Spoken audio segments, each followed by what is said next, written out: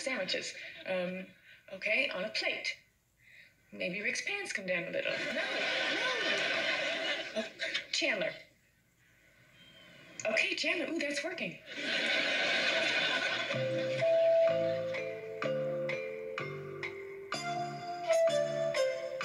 Chandler's knees.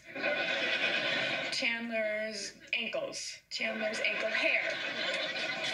Oh no. Okay, you're all set. Oh, wow, that was amazing. Was that really just an hour? yeah. In really long hour world. What? Ugh, okay. I have an enormous crush on you, but because you're a client, I can't ask you out, even though you give me, you know, the feelings. Oh, I had no idea. But, uh, hey, I can always find another masseuse. Really? Yeah, really.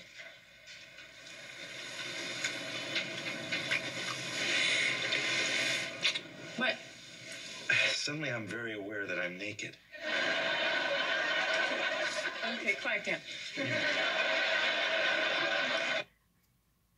I've been waiting for. Oh my God. Why wasn't I offered that? I definitely paid more for that.